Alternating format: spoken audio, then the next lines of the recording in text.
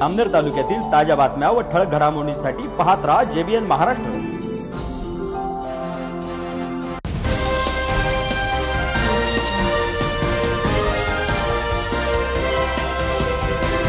नमस्कार मी विनोद चौधरी. पाहूया काही ठळक वृत्त. हरित क्रांतीचे जनक माजी मुख्यमंत्री स्वर्गीय वसंतरावजी नाईक यांची जयंती जामनेर शहरातील नगरपरिषद चौक येथे सर्व समाज बांधवांच्या वतीने साजरी करण्यात आली. यावेळी स्वर्गीय वसंतरावजी नाईक यांच्या प्रतिमेला माल्यार्पण करून अभिवादन करण्यात आले. या प्रसंगी सर्व समाज बांधव सर्व पक्षीय पदाधिकारी कार्यकर्ते उपस्थित होते. स्वर्गीय भूतपूर्व माजी मुख्यमंत्री वसंतराव नाईक साहेब यांची जयंती. या जयंतीच्या निमित्ताने या ठिकाणी सर्व समाज बांधव सर्व पक्षाचे कार्यकर्ते पदाधिकारी या ठिकाणी सर्वजण जमलेले आणि या सर्वांच्या वतीने मुख्यमंत्री माजी मुख्यमंत्री वसंतराव नाईक साहेबांना विनम्र अभिवादन करतो. खरं तर मुख्यमंत्री मुख्यमंत्री या शब्दाचा वारंवार उल्लेख होतो आहे उच्चार होतो आहे कारण सध्याची परिस्थिती तशी आहे. आणि मुख्यमंत्र्यांचं नेहमीपासून निवासस्थान असलेला जो वर्षा बंगला आहे खरं तर या वर्षा बंगल्याचं प्रत्येकाला आकर्षण असतं. परंतु या वर्षा बंगल्याचं नामकरण वर्षा करण्याचं एकमेव जर काम कोणी केलं असेल तर ते वसंतराव नाईक साहेबांनी केलेलं आहे. त्याचबरोबर वसंतराव नाईक साहेब हे त्या काळचे जलदूत म्हणून ओळखले जात होते. एक गोर बंजारा समाजातून पुढे आलेलं नेतृत्व आणि त्यांनी समाजाचा जो अभ्यास केलेला होता वसंतराव नाईक साहेबांचं वाक्य होतं की शेतकऱ्याला जर चमत्कार करायचा असेल तर त्याला पाणी मिळालं पाहिजे आणि पाणी मिळालं तर तो निश्चितच चमत्कार घडवून आणेल. आणि या महाराष्ट्राची या देशाची शेतीच्या उत्पादनाचं असेल किंवा शेतकऱ्याची प्रगती जर असेल तर ती पाण्यावर अवलंबून आहे आणि त्यासाठी वसंतराव नाईक साहेबांनी प्रचंड आटोकाट प्रयत्न शेवटपर्यंत त्यांनी या जलदूत म्हणून त्यांनी झगडत राहिले आणि शेतकऱ्याचं उत्थान कसं होईल शेतकऱ्याची प्रगती कशी होईल यासाठी त्यांनी सदैव प्रयत्न केले.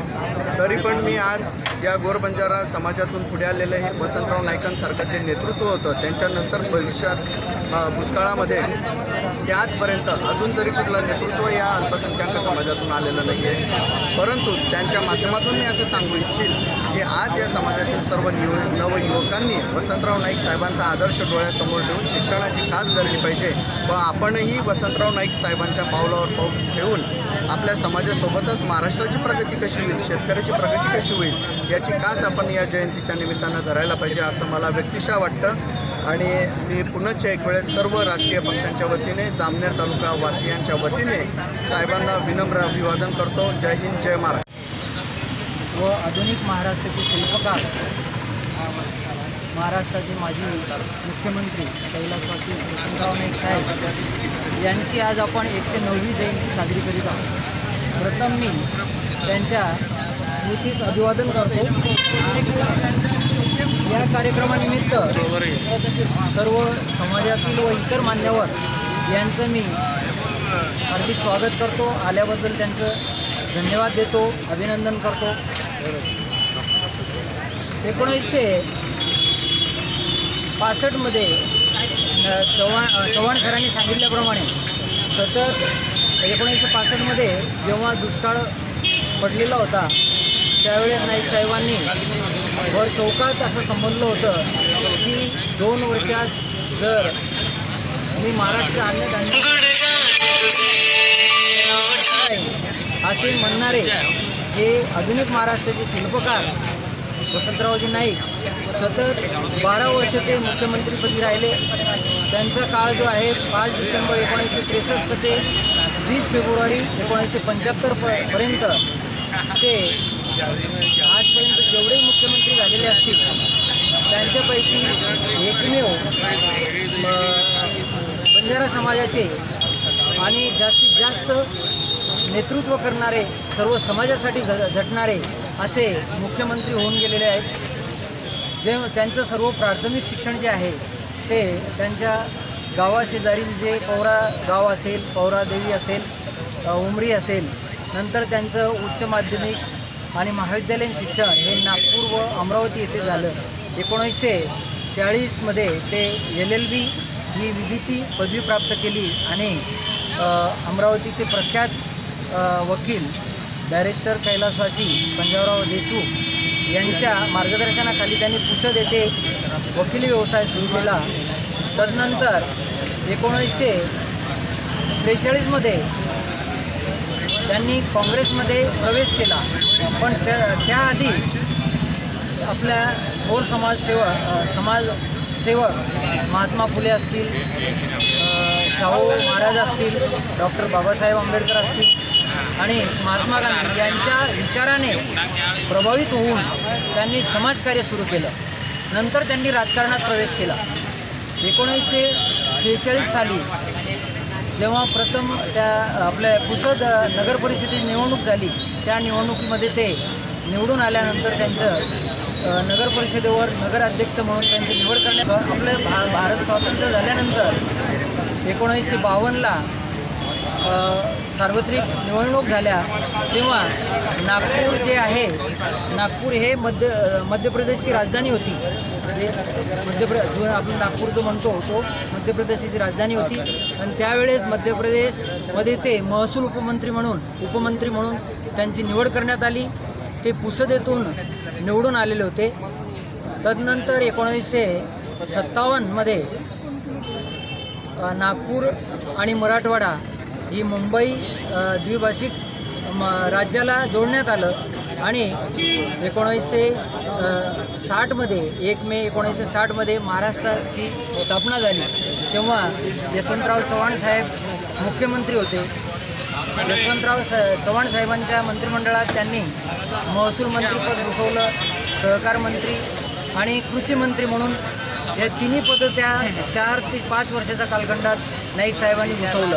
त्यांचा एवढा मोठा अनुभव होता कृषी असेल सहकार असेल या विविध क्षेत्रात चा फायदा घेऊन ते विदेश दौरा केला.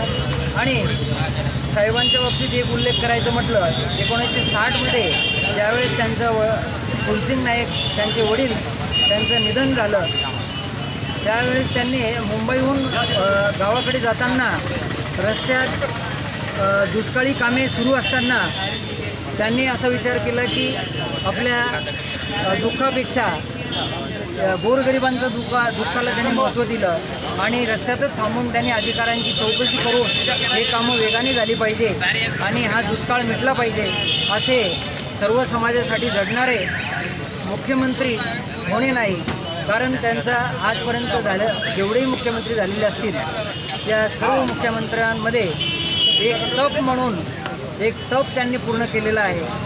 आणि एक यशवंत यशवंतराव चव्हाण साहेब जेव्हा केंद्रात संरक्षण मंत्री म्हणून त्यांनी शपथ घेतली त्यानंतर दादासाहेब कन्नमवार यांनी मुख्यमंत्री प- पदाची शपथ धुरा सांभाळली. त्यानंतर एक वर्षांनी जेव्हा कन्नमवार साहेब त्यांचं निधन झालं आणि पाच डिसेंबर एकोणीसशे त्रेसष्ट रोजी मुख्यमंत्री पदाची धुरा नाईक साहेबांकडे आली.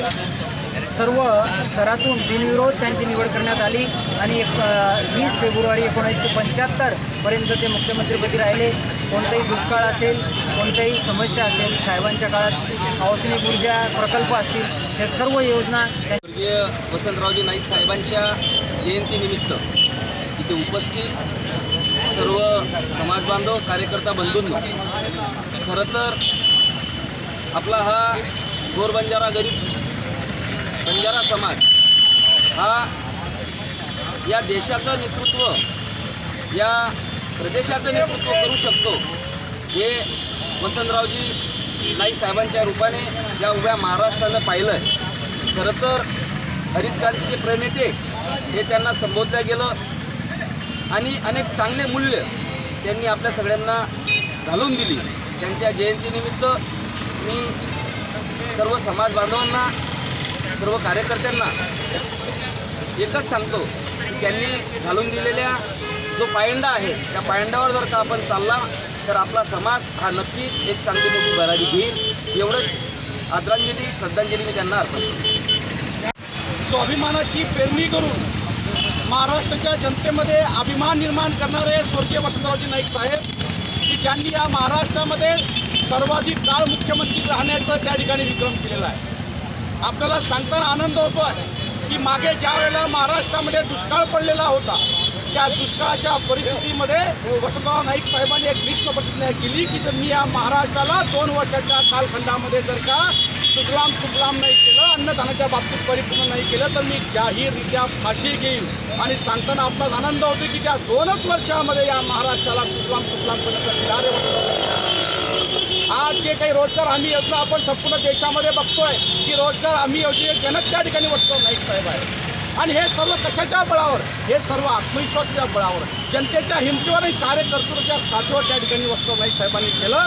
आणि अशा वसंतराव नाईक साहेबांच्या जयंतीदिनी आज आमच्या या संपूर्ण परिवारामध्ये राजकीय परिवार असेल सामाजिक परिवार असेल आध्यात्मिक परिवारचे सर्व लोक या ठिकाणी उपस्थित झालेले आहेत. मी सर्वप्रथम आपल्या तालुक्याचे भारतीय जनता पार्टीचे तालुकाध्यक्ष आदरणीय चंद्रकांत बावीस यांना विनंती करतो त्यांनी आपले पण शब्द व्यक्त करावे. या बातमीत इथेच थांबूया ताज्या अपडेट्ससाठी W W W J B N Maharashtra dot com या आमच्या वेबसाईटला लॉग इन करा. तसेच यूट्यूबवरील आमचे व्हिडिओ पाहायला विसरू नका. आणि Google play स्टोअरवरील J B N news app download करून J B N Maharashtra news channel live पहा. नमस्कार.